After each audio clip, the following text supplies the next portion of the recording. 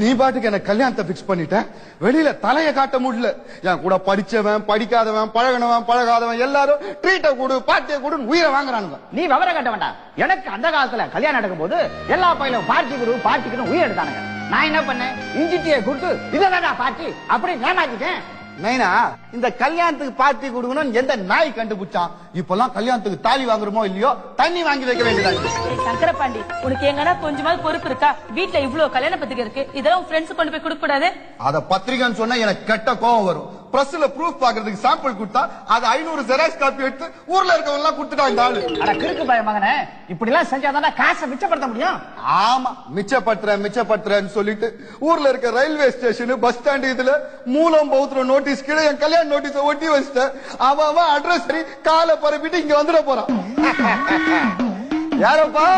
யாரு? இதோ ஒருத்தன் வந்துட்டான் பாரு. எங்க அந்த கத்தி? வீட்ல யாரும் இல்லையா? ஹலோ? ஆபரேஷன் தான்டா வரேன். டேய், டேய், டேய், டேய். அவர் உன் தாய் மாமன்டா. அண்ணா. தங்கச்சி. மலர்களை போல் தங்கச்சி.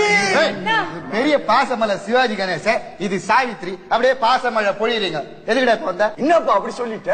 அடுத்த வாரம் உனக்கு கல்யாணம் இல்ல. என் கல்யாணத்தை எனக்கே சொல்றியா? டேய் அடுத்த வாரம் தான்டா கல்யாணம். இப்ப எதுக்கு வந்த? அது இல்லப்பா. கல்யாணத்துக்கு தாய் மாமனுக்கு பட்டு வெட்டி பட்டு துண்டெல்லாம் எடுத்து கொடுப்பீங்கல்ல? அளவு தெரியாம கஷ்டப்படுவீங்களோன்னு அளவு கொடுத்துட்டு போறேன்னு வந்தேன். அண்டங்காக்கா அளவு குடுக்கறான்னு அளவுக்கு அதிகமா பேசுறியா? வேட்டி துண்டுக்கெல்லாம் எவன் அளவு கொடுப்பான் அண்ணா நீங்க மட்டுமா தனியா வந்தீங்க? அது எப்படிமா நான் மட்டும் தனியா வருது? தனியா வந்தா நீங்க எல்லாம் கோச்சிக்கீங்கல்ல அதனால எல்லாரையும் கூட்டிட்டு வந்துட்டேன். எல்லாரும் வாங்க வாங்க வாங்க. கூப்பிடுறான் தான் உன் குடும்பத்து வரைக்கும் கூப்பிடுறான். நீ கத்துற கத்துல ரோட்ல போற ஊரா உள்ள வந்துட்டான்டா. மச்சான் அவங்க ரோட்ல போற வர்றவங்க இல்ல. நீ பத்திரிகை போடும் போது சுற்றமும் சூழமும் போட்டிருந்தேங்க அதனால எல்லாரையும் கையோட இட்டுன்னு வந்துட்டேன். இவங்க வந்து பக்கத்து வீட்டுக்கார் பையன். இவன் வந்து எதிர் வீட்டுக்கார் பையன். இவன் வந்து பில்டிங் ஓனர் பையன். இவன் என் சின்ன வீட்டு பையன். பத்தியா? வாய கொடுத்து மாட்டீங்கன்னா டேய் உங்க அப்பா சின்ன வீடு வச்சுக்கிறான்டா அடி ஜாலி. எங்க அப்பாவுக்கு இன்னொரு வீடு இருக்குதா? அங்க போய் விளையாடலாமே. நல்ல குடும்பம்டா உங்க குடும்பம். ஏண்டா எப்படிடா? நீங்க ஊர்ல இருந்து வரும்போதே மூளையை கட்டி முனியாண்டி விலாஸ்ல வச்சுட்டு வந்துருவீங்களா?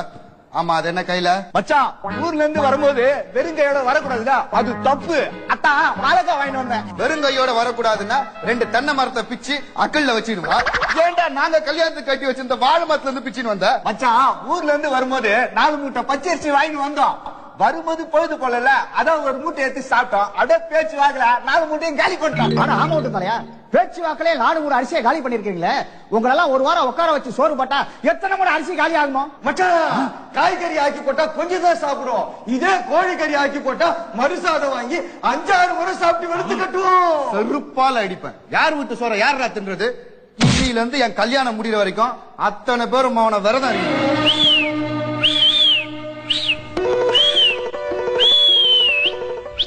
ஏண்டா பொறுக்கி நாய. இந்த வீட்டுல பொம்பளைங்க இருக்கிறாங்கல்ல இங்க எதுக்குடா வந்து விசில் அடிக்கிற? யாரா நீ? டேய் நான் கண்டக்டர் விசில் அடிக்கிறது தான் என் வேலைய. ஏய் எங்க வீட்டு குக்கர் கூட சூப்பரா விசில் அடிக்கும். அதுக்கு ஒரு கண்டக்டர் வேலை வாங்கி தாயா. ஏய் என்ன?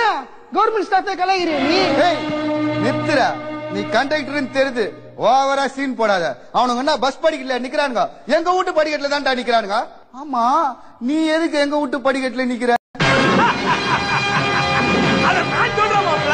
இவரு நாங்க வந்து பஸ்ஸோட கண்டக்டர் உங்க ஊர் பஸ்ல நாங்க காசு கொடுத்து டிக்கெட் எடுத்தா அது உங்களுக்கு தானே அசிங்கம். அதனால தான் கண்டக்டர் கையோட கூட்டு வந்திருக்கோம். கை நிறைய காசு கொடுத்து அனுப்புங்க. ஏண்டா கண்டக்டர் மட்டும் தான் கூட்டிட்டு வந்தியா? இல்ல பஸ்ல இஞ்சி மரப்பா விக்கிறவன் சிப்ஸ் விக்கிறவன் எல்லாரையும் கடன் சொல்லி கூட்டிட்டு வந்துட்டியா? தம்பி இப்படி கேப்பீங்கன்னு தெரியும். அதான் அவனையும் கையோட கூட்டு வந்துட்டேன். தம்பி!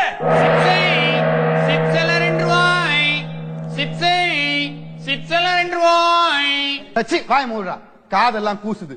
ஏண்டா ஒரு பேச்சு கேட்டா நாத்தம் பூச்ச சிப்ஸ் விக்கிறவங்க எல்லாம் நடு வீட்டுக்கு கூட்டிட்டு வந்திருக்கேன் ஆமா இவங்களுக்கு எல்லாம் எவ்வளவு தரணும்? மொத்தமா ஐநூறு ரூபா மாப்பிள. இந்த புடி. பத்தியா? மாப்பிள எப்படி அள்ளி அள்ளி கொடுக்கறான்னு.